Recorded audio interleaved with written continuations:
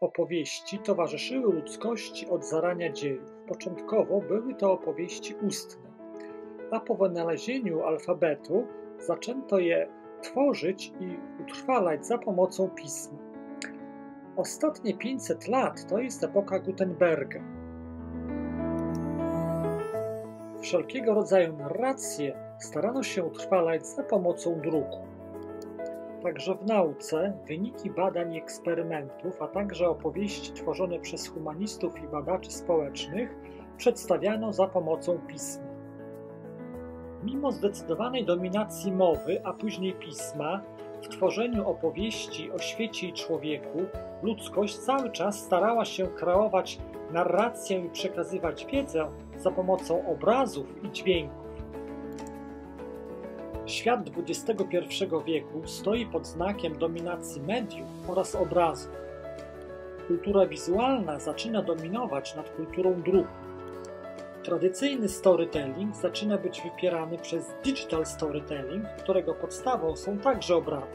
Digital storytelling oparty jest na klipach wideo, zdjęciach, grafice oraz dźwięku. W ostatnich kilkunastu latach powstało szereg nowych form wizualnych opowiadań, które możemy zaliczyć do digital storytellingu. Radom Bernarda Gottfrieda, dawniej i dziś. Wędrówka śladami pisarza. Bernard Gottfried urodził się w 1924 roku w Radomiu. Wybitny fotografik, wieloletni współpracownik magazynu Newsweek. Pochodził ze średnio zamożnej rodziny żydowskiej. Tu ukończył powszechną szkołę podstawową imienia Adama Mickiewicza i to w Radomiu podjął swoją pierwszą w życiu pracę, najpierw w drukarni, a potem w zakładzie fotograficznym Orensteina, przyjaciela rodziny. Wówczas związał się z polskim ruchem oporu, przekazując odbitki zdjęć pokazujących okrucieństwo dokonywane przez Niemców w okupowanym Radomiu. W czasie wojny stracił rodziców osadzonych w obozach koncentracyjnych. Po wojnie wyemigrował do Stanów Zjednoczonych. Do Polski powrócił w 1983 roku. Dokumentował wówczas dla Newsweeka wizytę papieża Jana Pawła II. Odwiedził wtedy także Radom.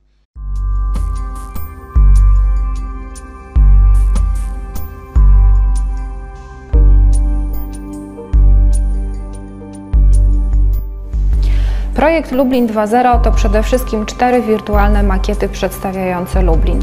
Chodziło nam o to, aby pokazać, w jaki sposób zmieniało się miasto, jego przestrzeń, najważniejsze obiekty w XIV, XVI, XVIII i w latach 30. XX wieku. E, dzięki tym wirtualnym modelom możemy prześledzić dokładnie rozwój przestrzenny miasta, a przy okazji zapoznać się z jego historią. Oprócz czterech makiet powstały również wizualizacje 3D. Są to przede wszystkim e, wirtualne wizualizacje wybranych obiektów wchodzących kiedyś w skład przestrzeni Lublina. Również na gruncie praktyki naukowej zaczynają pojawiać się pierwsze periodyki, które przedstawiają wyniki eksperymentów w postaci zwizualizowanej. Przykładem może być amerykański JOF.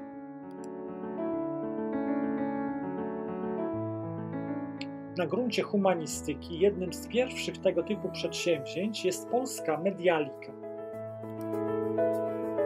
Y, kilka słów o e, medialice. Medialice y, jako z jednej strony y, mm, powstałym kilka lat temu periodyku, właściwie wideo czasopisma, które mm, w nowatorski sposób mm, przekazuje y, wiedzę. Y, no i też medialice jako eksperymencie, eksperymencie, który wspólnie z profesorem Andrzejem Radomskim rozpoczęliśmy, trochę też przyglądając się sytuacji w szerszej skali globalnej, czyli mam tutaj na myśli pierwsze na świecie tego typu, y, y, tego typu y, wideo periodyk, jakim jest amerykański właśnie taki, taki wideoperiodyk Jove. Chodziło głównie o to, że przyświecało nam głównie to, że zmieniające się czasy, rozwój technologii, sposób komunikacji podnoszą znaczenie obrazu jako tego, który jest medium komunikacji. To zmieniający się obraz, obraz, który czasami, obraz techniczny, który czasami jest uprzestrzeniony, tak jak w przypadku obrazu, który dotyczy rzeczywistości wirtualnej 2D, ale także i dzisiaj już y, ten, który jest wytwarzany przez urządzenia head-mounted display, takie jak Oculus, kiedy mówimy o y, y, VR 3D, ale też chodziło o to, że obraz, który sam w sobie ewoluuje, staje się coraz bardziej popularny, rozpoznawalny i staje się tym sposobem komunikowania, który jest no, coraz bliżej, coraz bardziej nasyca i naznacza komunikację jako taką.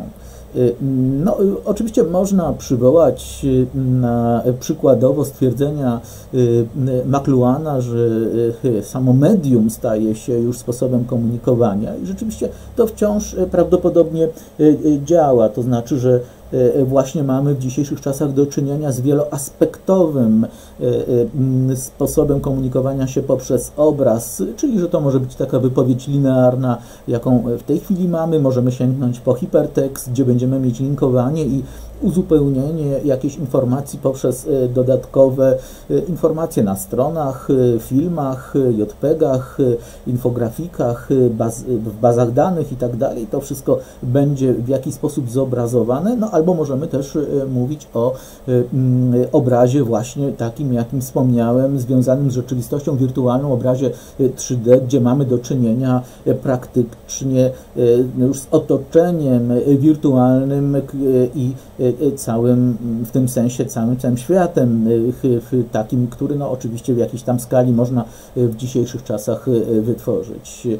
Tak więc my w Medialice staraliśmy się przenieść akcent na, z tego, co pisane i zawarte właściwie w takim, w takim podejściu bardzo tekstualnym do przekazu i postawić akcent, przenieść akcent na to, co wizualizowane, to, co możliwe do pokazania, omówienia, również też troszeczkę do e, opisania, ale tutaj już e, opis, tekst ma e, mniejsze znaczenie, znaczenie w przypadku medialiki, zyskuje e, różnoraki obraz, różnie skonstruowany i, i jak mamy nadzieję, czy, czy można na to być może liczyć, jest to język dzisiejszych czasów, język hipertekstowy, który no, przynajmniej jak można sądzić, uzupełnia tą, tą jeszcze wciąż wiedzę tekstualną, y, y, która y, właśnie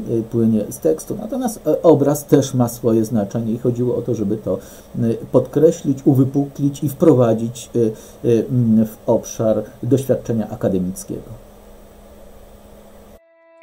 Medialika jest naukowym, multimedialnym periodykiem, który ukazuje się co pół roku. Pierwszy numer został wydany w roku 2017. W zamierzeniu redakcji Medialika ma publikować wyniki badań naukowych w konwencji Digital Stories. Znaczy to, że materiały naukowe, na przykład relacje z badań, recenzje czy sprawozdania z konferencji zjazdów, muszą posiadać charakter zwizualizowanych opowieści. Składają się one z trzech podstawowych komponentów: obrazów, słownego komentarza i dźwięku. Tekst odgrywa tu rolę drugorzędną. Wychodzi się bowiem z założenia, że multimedialne opowieści mogą wszechstronniej i głębiej zaprezentować świat kultury i historii oraz doświadczanie rzeczywistości przez człowieka, aniżeli tradycyjne drukowane monografie i artykuły, które zresztą nadal dominują w praktyce nauk humanistycznych i społecznych. Materiały przygotowywane dla medialiki tworzone są w różnych konwencjach stylistycznych i estetycznych. Discord to aplikacja, która umożliwia przesyłanie wiadomości głosowych, tekstowych, graficznych oraz wideo. Początkowo była stworzona tylko dla graczy, aby rozwiązać duży problem w komunikowaniu się ze znajomymi na całym świecie grając w gry online. Jednak jej popularność znacznie wykroczyła poza grupę docelową, obecnie jest nawet wykorzystywana do elekcji. Gdy już staniesz się członkiem Discorda, możesz dołączyć do istniejących serwerów, publicznych lub prywatnych, albo stworzyć własny. Aplikacja opiera się na tworzeniu tematycznych kanałów na serwerach, na których można współpracować, udostępniać materiały lub po prostu pogadać bez zapychania czatu grupowego. Pozwala to na przejrzyste i łatwe przechowywanie treści o danym temacie. Aplikacja jest bardzo łatwa w komunikowaniu, nie musisz nigdzie dzwonić, wystarczy, że wejdziesz na serwer, aby być w stałym kontakcie. Ponadto, podczas rozmów aplikacja wykorzystuje technologię Voice over Internet Protocol, która za pomocą protokołu IP przesyła dźwięk wyłącznie wtedy, gdy rozmówca się wypowiada. W aplikacji możesz stworzyć swoją społeczność, dużą bądź małą, jak wolisz. Jest to możliwe dzięki narzędziom moderowania i personalizacji dostępu użytkowników. Możesz nadać członkom społeczności specjalne moce, uruchomić kanały prywatne i wiele więcej. Discord pozwala na rozmowę w cztery oczy, jak również w grupie na serwerze. W aplikacji jest możliwość dostosowania ustawień głosowych czy wideo. Przed rozpoczęciem rozmowy dzięki funkcji testu wideo mamy możliwość upewnienia się, czy wszystko jest w porządku. Również w trakcie rozmowy możemy to wszystko kontrolować. Problemy etyczne uczenia maszynowego i sztucznej inteligencji. Sztuczna inteligencja zagościła w naszym codziennym życiu. Spotykamy się z nią w firmach, administracji publicznej czy ochronie zdrowia. Jakie są ograniczenia i możliwości? Czy może być twórcza? Czy może być świadoma? Jakie problemy etyczne niesie? Budowa systemów na fundamencie zaufania jest możliwa tylko wtedy, gdy aplikacje i procesy sztucznej inteligencji będą zgodne z fundamentalnymi zasadami etycznymi. Sztuczna inteligencja to dziedzina informatyki zajmująca się symulacją inteligentnych zachowań w komputerach pod kątem ich zdolności do naśladowania, a najlepiej poprawiania ludzkich zachowań. Sztuczna inteligencja to nauka o tym, jak nauczyć maszyny robić rzeczy, które obecnie ludzie wykonują lepiej. Aby to osiągnąć, wymagana jest symulacja ludzkiego poznania i funkcji, w tym uczenia się i rozwiązywania problemów. Uczenie maszynowe to gałąź sztucznej inteligencji i informatyki, która koncentruje się na wykorzystaniu danych i algorytmów do naśladowania sposobu, w jaki uczą się ludzie, stopniowo poprawiając jego dokładność. Bez wątpienia sztuczna inteligencja niesie za sobą wiele korzyści, w tym pomaga zredukować błąd ludzki, jest dostępna całodobowo, stanowi niezastąpioną pomoc cyfrową, pomaga rozwijać nowe technologie.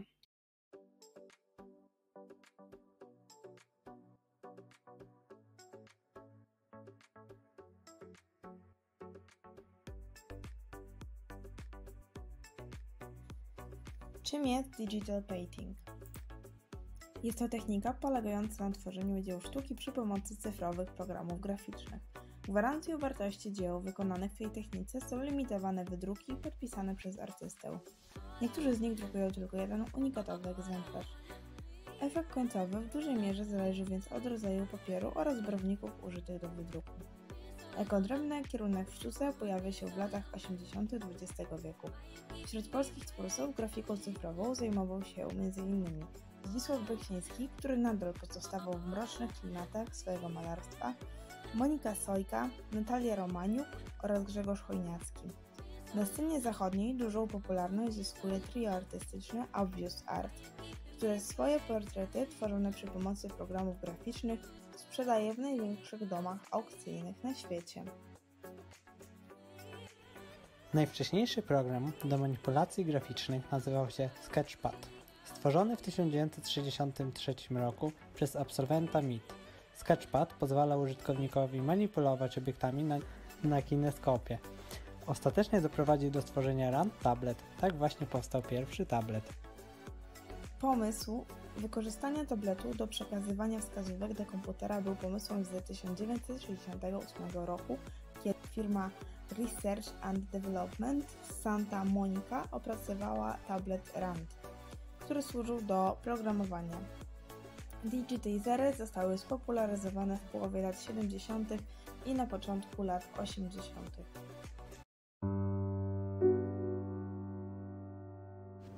Czym jest ASMR? ASMR, czyli Autonomic Sensory Meridian Response, to relaksujące i uspokajające uczucie łaskotania, które przemieszcza się od skóry głowy w dół ciała. Bodźcami wywołującymi taki efekt są spokojne widoki i delikatne dźwięki, takie jak szepty, szelesty i trzaski. Pojęcie powstało w 2010 roku i ma swój początek na Facebooku Jennifer Allen. Stworzyła ona ten termin, aby znaleźć ludzi, którzy odczuwają to samo, co ona zaobserwowała u siebie podczas oglądania filmów o kosmosie. Fale dziwnego mrowienia spływającego wzdłuż kręgosłupa. Uwielbiała to uczucie, ale nie była pewna, czym jest powodowane i jak to zjawisko zdefiniować, dopóki nie natrafiła na pewien post na forum. Opisywał on te same doznania, ale wywołane innymi bodźcami. Szybko znaleźli się też inni użytkownicy o podobnych doświadczeniach i powstały różne nazwy dla tego zjawiska, takie jak srebrzysty brzask czy westchnienie mózgu. W miarę rozwoju dyskusji rosła też liczba wyzwalaczy uczucia. Dla jednych był to dźwięk otwieranej kłódki, dla innych często wymieniany szelest czesanych włosów. Ludziom tym zarzucano narkomanię, chorobę czy perwersję, dlatego czuli oni potrzebę naukowego wyjaśnienia zjawiska. Postanowiono też założyć grupę badawczą, a Allen, czując się dłużna tej grupie internautów, nadała zjawisku nazwę ASMR. Namalowany bez użycia światłocienia. Widok fary jest wydrukiem, więc tym wybiegiem mogłam pokazać światłocień miasteczka. Podłoga kolegium ma intensywny zapach jakiejś starej, śmierdzącej farby do drewna. Łatwo zahaczyć o wystające drewniane deski pracowni. Pozowały nam do naszych martwych natur zielone butelki, garnki z farbami, okazjonalnie służące jako mieszalniki, krzesła, okna. W każdej pracowni malarskiej zazwyczaj znajduje się krowa, krowia czaszka, inne memento mori studenta.